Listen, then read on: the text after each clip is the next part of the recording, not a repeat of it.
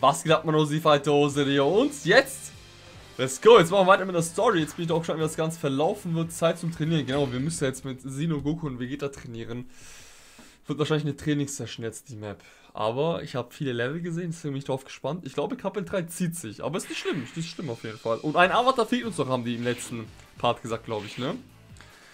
Und ja, ich werde mein ähm, Ding jetzt ablegen, mein Great Salmon Anzug. Weil jetzt ist ja, dass Great Salmon 3 Chunks ist. Deswegen müsste auch jetzt hier wieder normal werden.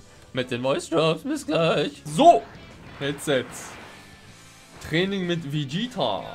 Die höchsten zwei Runden, da bin ich am Start, okay. Mit der Senderkugel. Der hat 22.000 Leben. Könnte ich ihn theoretisch in ersten rausnehmen? Ich glaube nicht. Ich habe nämlich keine Heldenenergie für meine für meine Super Attacks. Ich mache einfach mal Runde 2 wieder. Runde 2 Plays, würde ich sagen. Und ja. Let's go.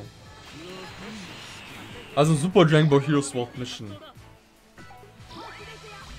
Ich muss ehrlich sagen, ich glaube, ich kann für den... Vielleicht kann ich für den einen oder anderen sprechen, wenn nicht, auch nicht schlimm. Also nimmst du nicht übel. Aber ich glaube,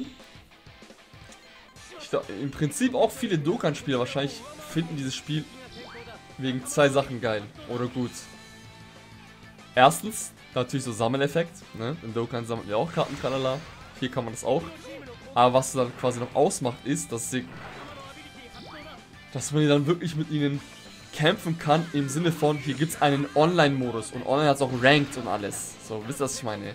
So ein PvP-Modus in Dokkan ich will nicht sagen, doch, ich will, doch, eigentlich kann ich das schon sagen, fehlt schon, aber ich denke nicht, dass es in naher Zukunft oder irgendwann wieder kommen wird, weil dieses Dokkan, JP vor allem, gibt schon seit vier Jahren.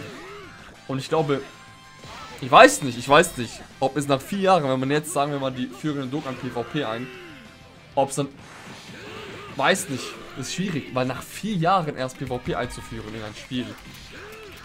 Es könnte sich auch negativ auswirken, weil ist ja nicht so, dass, okay, du führst PvP und das war's. Nee, weil das könnte sich auch negativ auswirken im Sinne von, dann würde es, würde es auch PvP-Karten geben, man müsste sie für PvP-Karten sammeln, ähnlich wie in Blazing und so, tralala.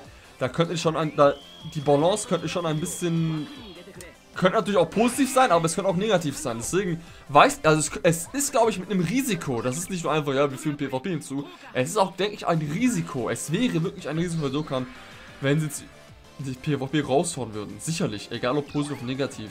Deswegen denke ich eher, dass sie wahrscheinlich auf Nummer sicher gehen werden und das Spiel so lassen, wie es ist, denke ich mal. Also im Sinne von, dass kein PvP kommen wird, weil, Freunde, vier Jahre gibt es sogar schon.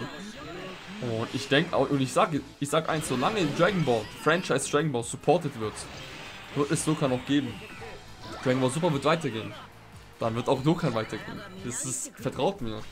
Dokkan ist so Dokkan ist einfach, ja, das digitale zum Mitnehmen Gesammelspiel. Kartenspiel so. Also es sind natürlich keine Karten, es sind Charaktere, aber ich glaube, ihr wisst, was ich meine. Und ich weiß, Dokkan hat wahrscheinlich auch noch einen anderen Stellenwert bei, bei vielen anderen. Weil ich muss schon sagen, Dokkan an sich ist echt ein gechilltes Spiel. Und in der Hinsicht halt auch geil, finde ich. Ähm, wirklich, wenn du mal keinen Bock auf Dokkan hast, dann hast du halt keinen Bock so. Verpasst, will ich sagen, nicht viel. Kannst schon noch was verpassen, aber Dokkan ist einfach so übelst das gechillte Spiel, ohne Spaß. Auch wenn ich mal keinen Bock auf Dokkan habe oder so, trotzdem logge ich mich ein, guck was abgeht und mach die Dailies und so und gut ist. Und Dokkan kannst du halt überall spielen, denke ich mal. Und natürlich finde ich dann umso geil, dass es auch Spiele gibt, wo du quasi mehr Zeit investieren musst. Oder was, was so einem Konsolenspiel nahe kommt, so wie Legends zum Beispiel. Legends hat auch total seine Berechtigung, es nimmt einen anderen Platz ein. Und ich finde es, es wirklich gut, ohne Spaß. Weil Dragon Ball gibt schon so lange und ich finde es wirklich be be bewundernswert, dass Dragon Ball Franchise immer noch supported wird. Und das ist, und vor allem in letzter Zeit finde ich sehr, sehr gut, dass viel auf die Community gehört wird. Sei es wegen, oh, ich rede gleich weiter.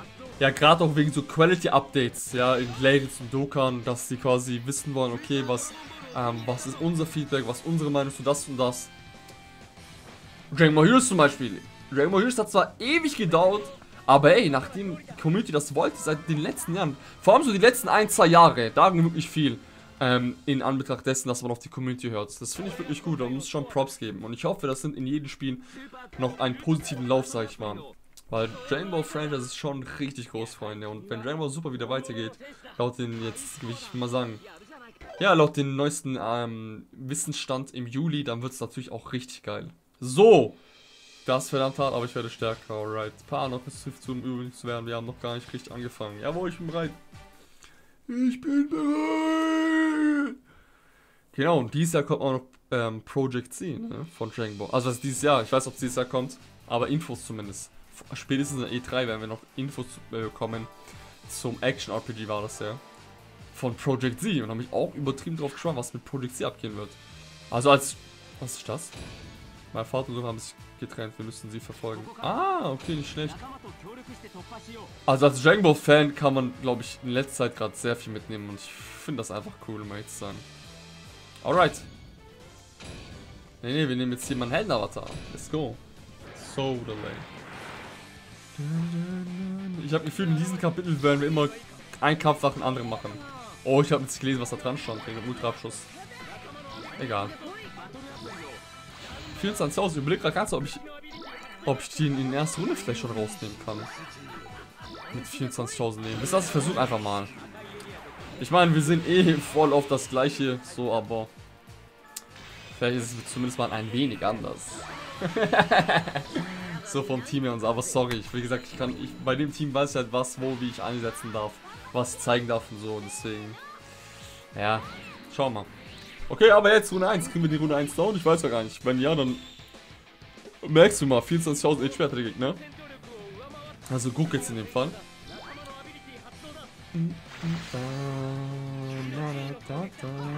Und Zubehör. Zubehör ist sehr wichtig, Freunde. Achtet auf euer Zubehör. Aber bei manchen Zubehör müsst ihr aufpassen, weil bei manchen tut ihr dann quasi die CAs der eure Charaktere ändern. Also es gibt ja Zubehör, diesen Gürtel, das ist für Stat Boost, also wenn ihr euren HP erhöhen wollt, Angriff oder Abwehr. Dann äh, das zweite, was war das zweite gefolgt davon? Oh Mist, ich hab vergessen, was das zweite war. Jedenfalls gibt es noch dazu, ich war das, wo du dann eine neue Fähigkeit deinem Charakter geben kannst. Einer kannst du ein neues CA geben. Und mit der, oh, ich, ich guck mal am besten nach dem Kampf kurz rein.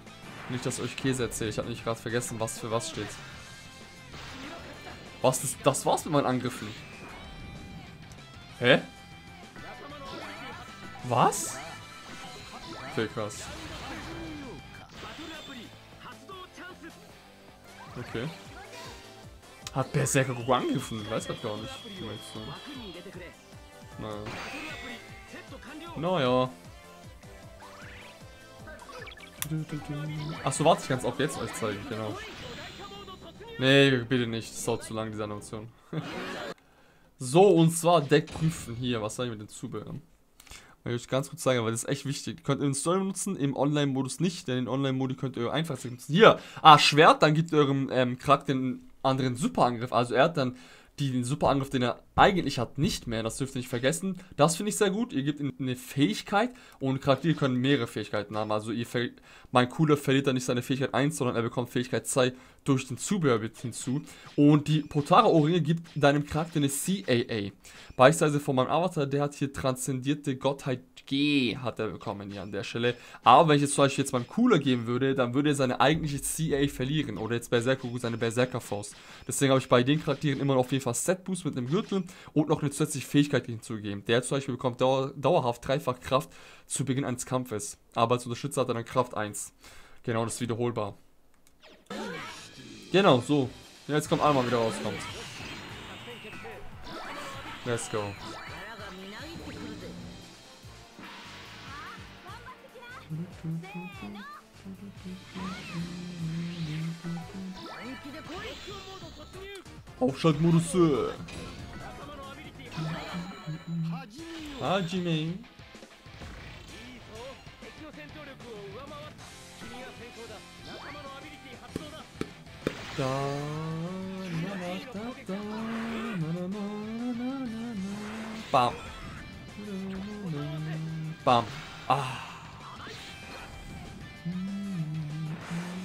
Pá, espera boom.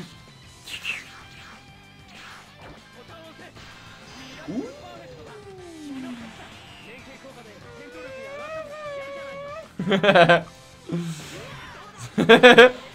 Rakshasa Score. Zum Beispiel in Minecraft habe ich Rakshasa Score gegeben. Easy, wie geht er hier? Final Flash! Sehr schön. Oh, was, der hat überlebt? Ja, jetzt hirsch mir auf, du. Ja, der ist eh down, das verliere ich. Kann ich gar nicht verlieren, okay, dann ciao. Oh, jetzt machen die Superangriffe. Guck, wäre egal, wenn ich jetzt euch die Animation von dem Superangriff skippen könnte, weil das sollte jetzt, das ist jetzt unnötig lang. Overkill so, der ist eh, der ist eh down. Naja. Egal. Sehr schön. Was? 76.000. Krank, krank, krank.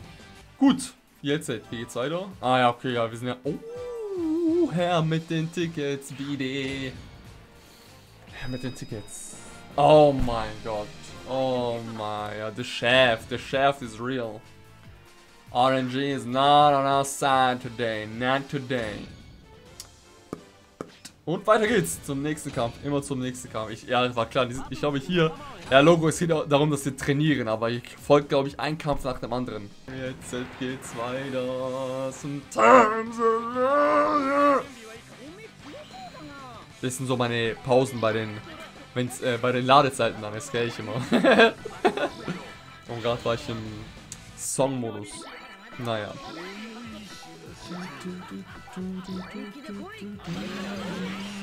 Und das Geniale ist noch, an Dragon Ball Heroes ist auf der Switch. Heißt, wenn man keinen Bock hat zu sitzen oder so, oder was ist. Wenn ihr mal einfach mal im Bett chillen wollt und einfach nur vielleicht ein, zwei Runden zocken wollt, dann könnt ihr das auch im Handheld-Modus. Das ist richtig geil gemacht. Switch ist wirklich gut, das sind wirklich sehr gute Hybrid-Konsolen, muss schon ehrlich sagen. Stationäre und Handheld-Konsole. Laut Gerüchten soll jetzt bei der E3 äh, zwei neue Versionen vorgestellt werden von der Switch. Eine Light-Version nenne ich es mal, beziehungsweise um es einfach zu sagen, eine Handheld-Version. Diese wird günstiger kosten, also es sind alles Gerüchte, Freunde, ne? Alles noch laut Gerüchten. Ähm, diese sollte dann quasi für diejenigen interessant sein, die auf Handheld gehen wollen, aufs Handheld. Das heißt wiederum, da wird man auf viele Feature verzichten, auf so Hauptfeature wie das Rumblen und ich kann mir auch vorstellen, die Dock Station, äh, Station wird aber diese Version dann günstiger kosten. Laut Gerüchten, wie gesagt, abermals.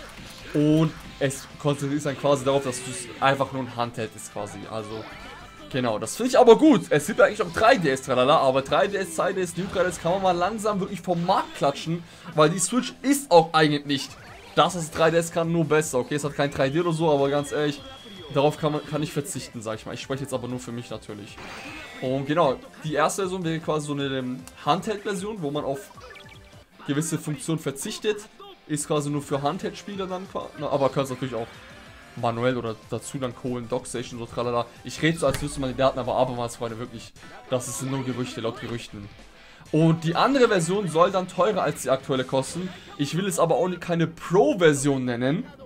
Aber, also, man kann es dann, man kann es nicht mit PS4 Pro und sowas vergleichen, laut Gerüchten. Aber es soll, wird halt eine bessere Version sein, als die es aktuell gibt. Und die sollte teurer werden.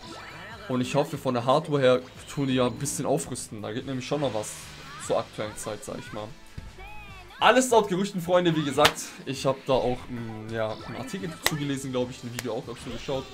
Und ich bin eben auf die E3 gespannt. E3 ist halt die Sache, wo alles eskaliert in E3. Bin, hey, E3 wird geil hoffentlich. E3 wird hoffentlich geil, sag ich mal, dieses Jahr.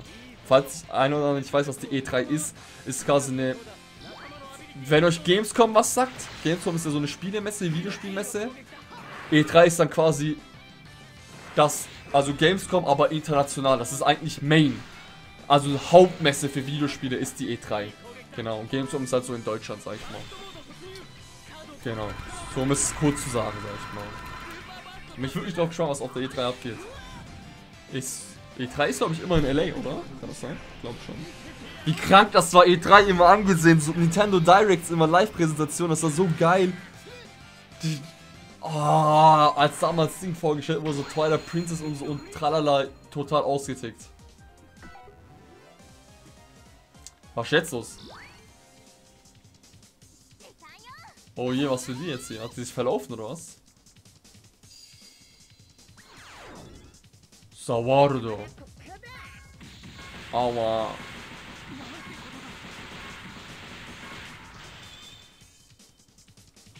Aua.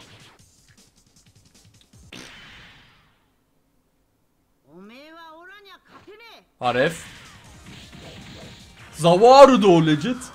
Jedenfalls, das war der Einfriermodus und ich weiß nicht, ob der einen Claim hat oder nicht. Also, könnte auch sein, dass das rausgeschnitten wurde von mir. Aber ja, nur damit es gehört habt. Jetzt aber, was kein Claim hat, ist meine feine Flash in dein Gesicht, Kakarot. Komm ran, Junge. Oh mein Gott. Raus mit dir, komm. Kein Bock mehr auf sowas mit dir, Kakarot. Training, Maining. Hier, bam, der Boom. Shit. Immer wenn ich das so ansagen will. Bam. Ja, nice. Hier sehr schön. Uh, Kamehame. Geil. Ciao. Senogoku, seine Klamotten sehen geil aus, finde ich. Die sehen echt richtig cool aus. Okay, cool, dann auch so viel zu dem Kampf. Ich denke, wir müssen jetzt zu Not switchen und mit dir ein paar Trainingskämpfe machen. Wie geht es hier weiter? Müssen wahrscheinlich zu Not wechseln. Oh, komm schon. Ist es der Drop? Hey, das Gugeta! Habt ihn... Da? Was macht er da? Der hat sich verlaufen. Oh Mann! Ich habe wieder auf Tickets gehofft, um zu sein. Schade. Schade, schade, schade. Okay, wir müssen zu Not wechseln, ja. Nein, danke. Was mich gerade gefragt habe, war, ob mich jemand anderes mitnehmen kann statt Note. Weil ich würde auch gerne mal die Decks der anderen sehen. Also jetzt, wenn man sich trennt. Weil nicht, ähm, am Anfang des Kampfes kann ich erwähnen, mit dem ich kämpfen will. Aber wenn man sich trennt. Nicht, dass quasi Note... Oh Mann, mit Note spiele ich jetzt, gell? I don't wanna know if I know. Mann, das kann jetzt... Der Kampf kann dauern mit Notes. Mit Noti im Deck. Oh mein Gott, Denise. I don't wanna. Egal. Oh je, Vegeta ist aggressiv. Oh mein Gott. Bam. Oh, wie langsam. Trotzdem verliere ich. Oh, wie langsam. Ja. Das ist jetzt zu langsam, Samar. Das irritiert mich.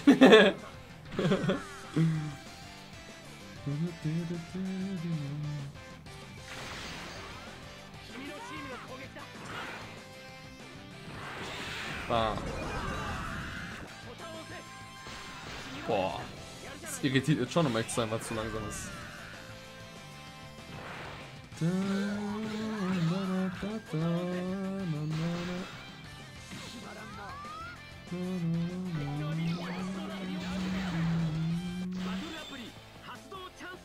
Hachibi! Der Machine ist immer an deiner Seite! Ah! So jetzt. Modul gewählt. Ich glaube, jetzt kann sich dem... Nee. Ah, ich habe, glaube ich, zu wenig Heldenenergie. Die... Ah, doch, du kannst fusionieren. Genau. Uno, due, tre, quattro. Danke. Was? Spaß, kann mehr. Oh mein Gott, Sie-Modus. Mal Platz, Junge Mann. Junge, zieh neune. Andere Sache. Ja, jetzt. Dragon Ball Heroes. Gibt's jetzt außerhalb von Japan? Was ist da los? Wird da Content für Dokkan Global kommen? Ich hoffe es. Und eigentlich sollte es. Es sollte jetzt nämlich keine Probleme geben, weil letztes ist auch im Westen lizenziert. Bin übertrieben drauf gespannt. In der Regel gab es immer neue Dragon Ball Heroes Charaktere, wenn es eine, ein Jubiläum gab, also einmal im Jahr. Oh, was? Note! Wird zum Super Saiyan! Ja! Wie sieht jetzt aus? Oh, mal die Fresse! Alter, wie krank! Wie nett! Really? Okay. Bin ich nur dabei. Nappa, komm.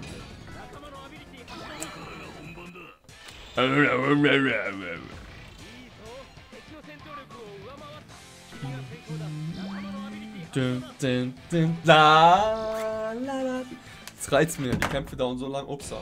Nein! I don't wanna know if. Ich wollte einfach nur weiterspielen, aber jetzt in Eskalationsmodus. Wer spielt so, Freunde, ab und zu, ohne die, ohne Halterung? Jetzt bin ich nämlich auch im Kampf. Boom! Scheiße. Jetzt bin ich auch im Kampf.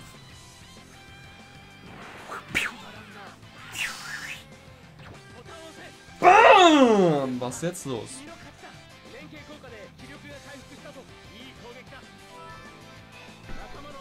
Mach doch mal. Bam! Was ist los? Würdet ihr so spielen, wenn das so gehen würde? Tenkachi konnte man ja so Kamehameha machen auf der Wii und so. Kamehameha! Ich mach's einfach mal. Ich tu mal so, als würde es gehen. Yeah! Easy, 10.000. Oh, gerade wollte ich ausholen. Ich wollte gerade ausholen. Oh, der gibt so eine Rückhandschelle. Zack. Ah, bam. Ja, ich werde verrückt, Freunde. Kann mich auch nicht halten. so eine Session, wenn man so eine Session mal aufnimmt, bam, bam, bam. Dann wird man an, am Ende wird man, das ist auch glaube der letzte Part für die Session, weil am Ende wird man, bei mir zumindest, ich werde da übel müde, bisschen erschöpft und bam. Und dann drehe ich halt durch, ich weiß nicht. Legit, wenn ich müde bin, drehe ich durch. Ich weiß warum. Ist eigentlich paradox, aber ja. Naja. Alles klar. Jetzt schauen wir mal. Glaub, ja, was ist? Schauen wir mal. Das ist der nächste Kampf. Sollen wir den nächsten Kampf hier noch reinklatschen oder nicht? Ich glaube doch, wir machen den Kampf hier noch. Und genau, das ist für diesen Part der letzte Kampf. So, was geht ab? Cyborg Osaru hier. Hallo, ma. Warte. Alle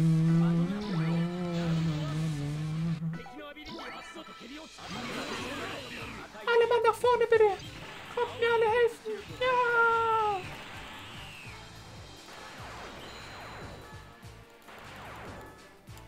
İyi kızı.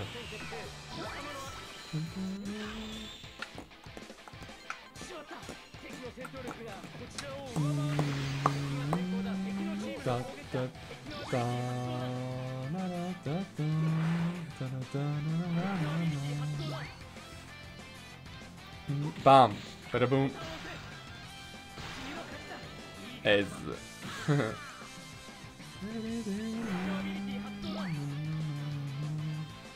bam, bam. Schau wieder er an. Easy. Easy. Idaro. Wisst ihr, wie ich auch brutal finde? Einfach so random Gedanke. Crocodile aus One Piece. Wie krank der ist, gell? Crocodile. Wie seine Stimme ist auch geil gemacht, finde ich, auf Japanisch. Sir Crocodile. Wie fies der war. Keiner weiß. Ja, wow, jetzt haben wir den AI-Kampf verloren. Bam. Schadenerhöhung des Gegners aufheben. Das ist das mit den Buffs quasi, dass sie das aufhebt dann.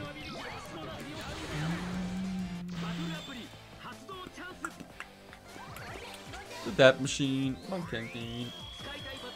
The Dab Machine, ja. Hm, Rocket.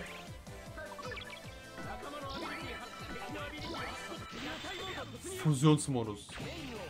Fusion. Ha. Sagen, wenn man sowas skippen könnte, das wäre so genial. Ein Ups, ich habe schon wieder Start ausgesehen. Weil ich skippen wollte. naja. Sie modere! Mal Platz, mein Sohn! Raus mit dir! Bam, badabum, pow. Oh! Jetzt. Das Z für Zeit für ein du, du, du, Duell.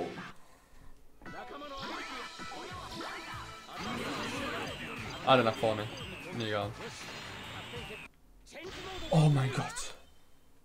Ja!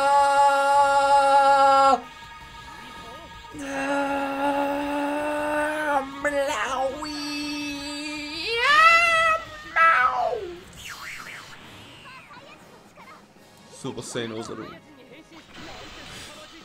Ja! Komm ran. Aufschaltmodus. Wie sieht den an? Ihr habt die im Blick, Junge. Ihr habt die im Blick.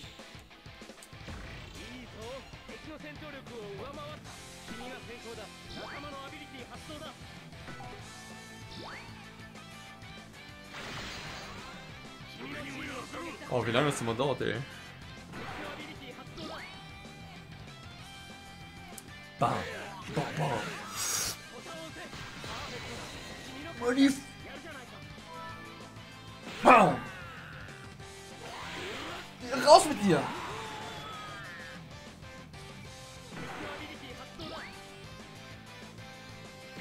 Bam. Ich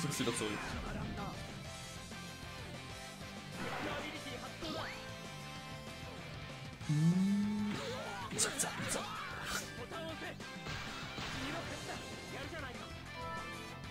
Bam.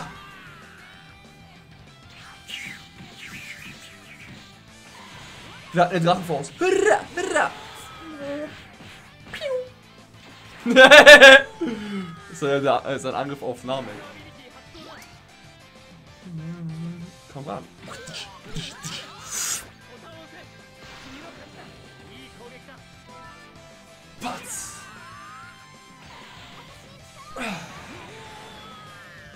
Oh nein, geht es in Runde 3 oder was?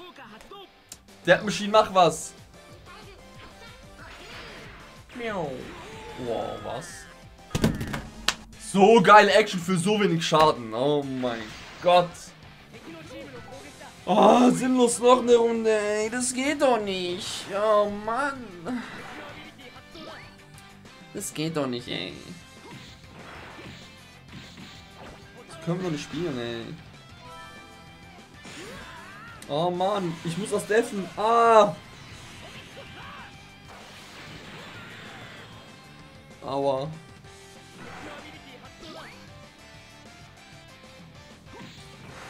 Ey, lass mich in Ruhe.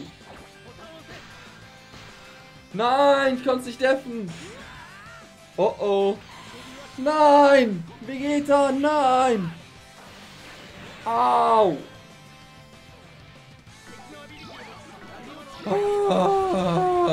Diese Runde ist so sinnlos gerade. Kommt alle! Ultimative Einheit! Achso, du bist gar nicht Anführer. Hau ab. Hau ab, du. Mitglied, ey. Ey! Was ist jetzt los? Danke. Und jetzt? Ach so. Okay. Kommt einer nach vorne, sag mal, was ist da los? Beendet diesen Kampf! Sonst geht's zu lang! Oh mein. Das gibt's doch nicht. Legit.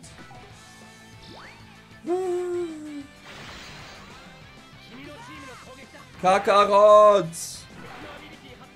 Kakarot, ich werd noch verrückt! Mach was! Easy, danke, Miracle. Miracle! Oh je, ja, super den raus jetzt, komm. Lang, langsam. Ist lang für die, komm, ist lang für die. Brr.